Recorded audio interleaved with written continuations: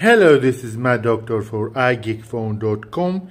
Today I have for you the latest, the new model of the EKSA E900 Pro, a 7.1 virtual surround sound gaming headset that can be used at uh, your PC, PlayStation 4, PlayStation 5, uh, and uh, you can find them at a really really nice price. I'm gonna have a coupon for you with a 15% that's uh, discount and free stand for your earphones. Now this is the box that came to me a little bit smashed here from the courier nevertheless. Uh, as you can see there is uh, an image of the earphones at the top. 24 months guarantee. Here warranty.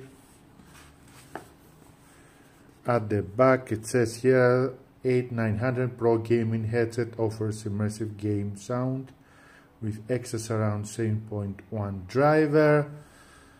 Here are the specifications of the headset uh, 3.5 millimeters or 7.1 USB cable, driver diameter 50 millimeters, sensitivity 180 decibel plus minus 3, speaker impedance 32 ohms, frequency range uh, 20 Hz to 20 kilohertz, and for the microphone uh, the sensitivity is uh, minus 42 plus minus 3 the size of it uh, impedance is 2.2 uh, currency consumption maximum 0.5 milliampere. And this is what we are going to find inside. Now if you check over the site of uh, EKSA you will uh, see that uh, when you want to download the driver that uh, you can use for your PC which is uh, with Windows 10 or Windows 7, Windows 7 uh, compatible, you will see that uh, it uh, says how you can understand if you have the new version or the old version of the E900 Pro.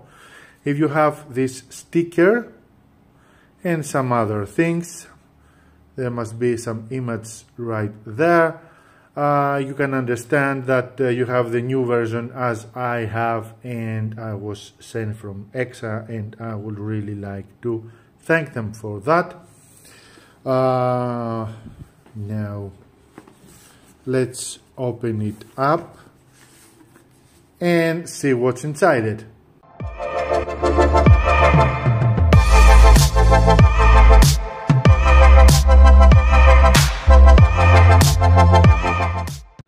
So let's open up the box and see what really is inside it. Apart from the stand for the earphones that I have already showed you and you are going to get for free. So we have here a pouch with some other things. Nothing else inside. So here we have the manual, how to connect it.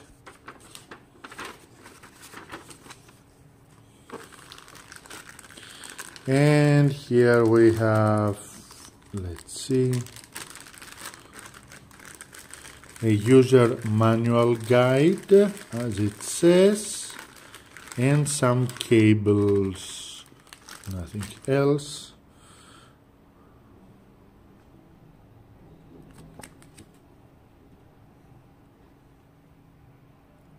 What you get.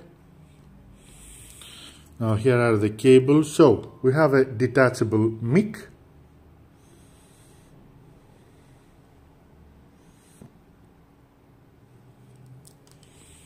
We have a USB cable type C as you can see here.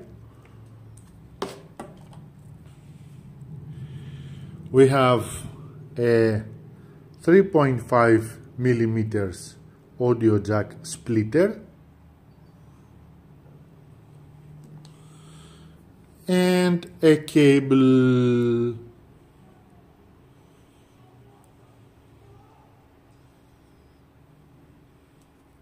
With 3.5 millimeter jack to connect it with your cables with your earphones. And here inside the pouch we must find the earphones. Here they are. EKSA.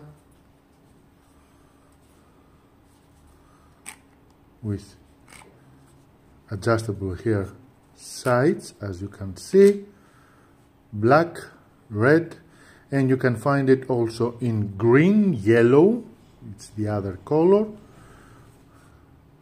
Now here we plug in the 3.5 millimeters jack. And if you see here it has some extensions. So when you plug it here it is. When you plug it here and you move it the other way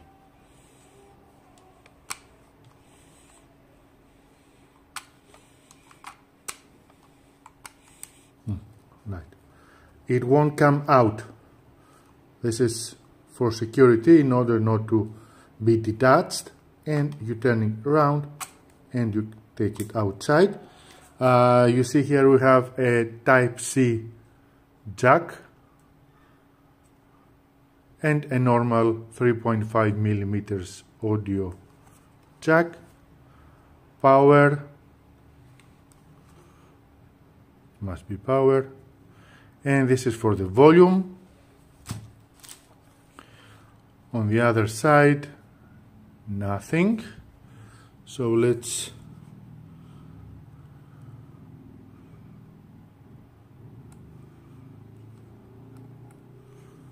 well it's not power. We must see what and it is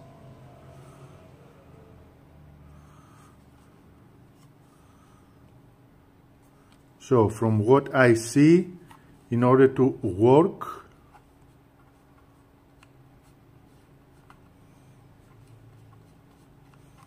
they connect only through cable through 3.5 millimeter or through USB cable. Now, depending on how you're going to connect it, you are going to have uh, a different kind of connection is uh, 7.1 or not. Uh, I'm going to test it. Uh, I'm going to download the driver at my PC and test them uh, and I'm going to see how they uh, are working with my PlayStation 4 in order to see if they are good or not. Well, uh, as for designs, cables, accessories and so on, looks very good. That it has a detachable mic that must be plugged in here from what I see. So here it's the mic